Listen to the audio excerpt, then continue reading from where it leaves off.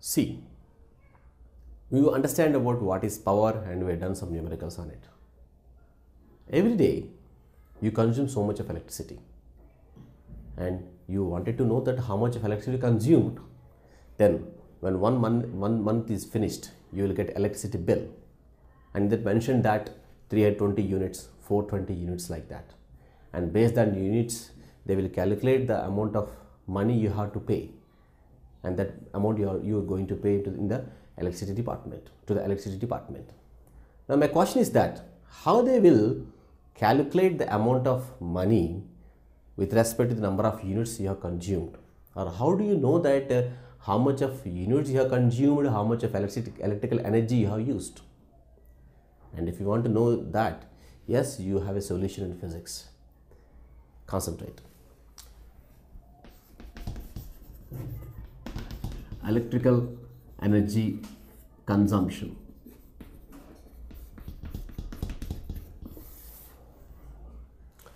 We know that power P equal to energy by time implies energy E equal to power into time and this energy is electrical energy. If you know the power and time, you can find electrical energy. For example, say the example. You have taken an electric bulb of power 40 watts and used for used for 10 hours. Then the electrical energy electrical energy consumed is how much see you have power into time no? power into time. So power is 40 watts and time is 10 hours. Then you can say 400 watt hour. Okay but there is a change in this value. Generally electrical energy consumption shown in terms of units. One unit of electric, electricity consumption equal to 1 kWh kilowatt hour. 1 in equal to 1 kWh. So if you take, go back to this numerical 400 watt hour is nothing but you should convert into kilowatt hours. So to convert kilowatt hours means you should have k here. So what I do I write 400 kWh by k so values do not change. But what is K? K means 1000. So 400 kWh by 1000.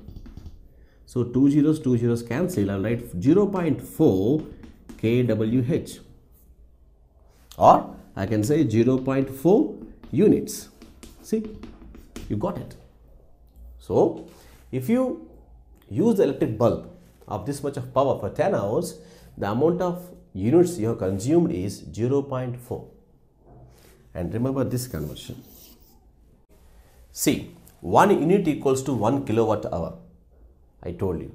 But generally we when we talk about energies we show the energy value in terms of joules. No you may got doubt that 1 kilowatt hour equal to how many joules? Let, let, let us see the board. 1 kWh equal to 1 kilowatt means 1000 into 1 hour. 1 hour 60 minutes. 1 minute 60 seconds. So 60 into 60 seconds. 1 hour is converted into 60 into 60 so therefore you can write 6 6 are 36 into or 36 into 1 2 3 4 5 5 zeros.